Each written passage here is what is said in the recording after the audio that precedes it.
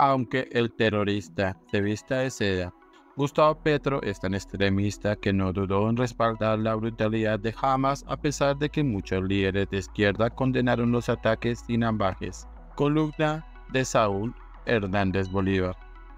No pueden extrañar a nadie las opiniones lanzadas por Gustavo Petro en las que evita condenar los actos terroristas cometidos por Hamas en Israel, donde asesinaron a gente indefensa, incluyendo a bebés.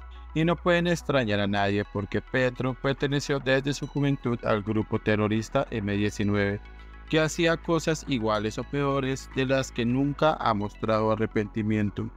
Incluso a menudo da a entender que sigue teniendo un espíritu de subversivo y que avala las prácticas terroristas. Todo un engendro. Petro es tan extremista que no dudó en respaldar la brutalidad de Hamas a pesar de que muchos líderes de izquierda condenaron los ataques sin ambajes. Así lo hicieran de labios para afuera. A las condenas se sumaron extremistas como el presidente brasileño Lula da Silva, el presidente de Chile Gabriel Boric, el senador de Estados Unidos Bernie Sanders y la controvertida congresista de ultraizquierda Alexandria Ocasio-Cortez. Solo acompañaron a Petro en sus diatribas absurdas déspotas como Nicolás Maduro, que otra vez profirió una sandez monumental al decir que Jesucristo fue un palestino crucificado injustamente por el imperio español. El dictador norcoreano Kim Jong-un y el presidente de Irán, Ebrahim Raisi, país que colabora con Hamas. En esto no puede haber lugar de equívocos.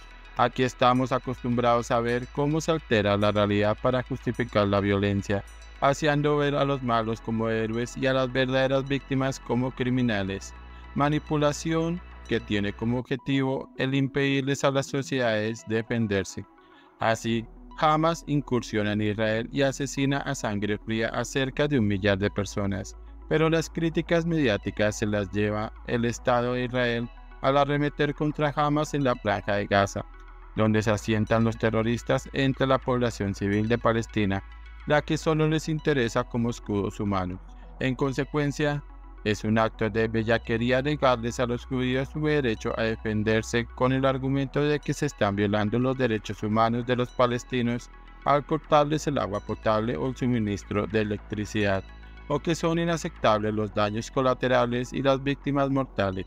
Entonces, salen a manifestarse a las calles de Londres, París y Berlín los miles de musulmanes a los que se les ha permitido invadir barrios enteros en nombre de un multiculturalismo mal entendido. Luego, los medios nos muestran la destrucción en Gaza y el sufrimiento de las familias en medio del hambre, los muertos, los heridos y la obligación de desplazarse. Todo lo cual convence a los incautos de que Israel es el demonio y Palestina una tierra de angelitos. Afortunadamente para el mundo libre, esta tampoco será la vez en que a los judíos los tiren al mar, como pretenden los musulmanes fundamentalistas. La paz en esa región no es fácil porque mientras Israel reconoce la existencia de Palestina, casi ninguno de los vecinos reconocen al Estado israelí y su territorio. Y no será esta la vez porque estamos hablando de uno de los países más desarrollados del mundo enfrentando a naciones que no producen nada. Basta considerar este dato. Los judíos constituyen el 0,2% de la población mundial, pero se han ganado más del 25% de los premios Nobel desde su creación, principalmente en las áreas de física, química, medicina y economía. Como si fuera poco, Estados Unidos apoya irrestrictamente a Israel, tanto que le han pedido al psicópata de Gustavo Petro que condene el terrorismo de Hamas. Petro ha puesto en peligro las relaciones de Colombia con Estados Unidos e Israel, publicando más de un centenar de trinos en apoyo a Hamas, cuando en 2022 se fue lanza entre este contra Iván Duque por un solo mensaje que este envió en apoyo de Ucrania tras la criminal invasión Rusia. No, señores, Petro no es nadie especial, no es Dios ni es el dueño de Colombia. Llegó a la presidencia con una votación minoritaria y hoy muchos de sus electores están tan arrepentidos como la comunidad judía de nuestro país, que en la campaña electoral se reunió con este terrorista para escuchar sus propuestas brindándoles su respaldo.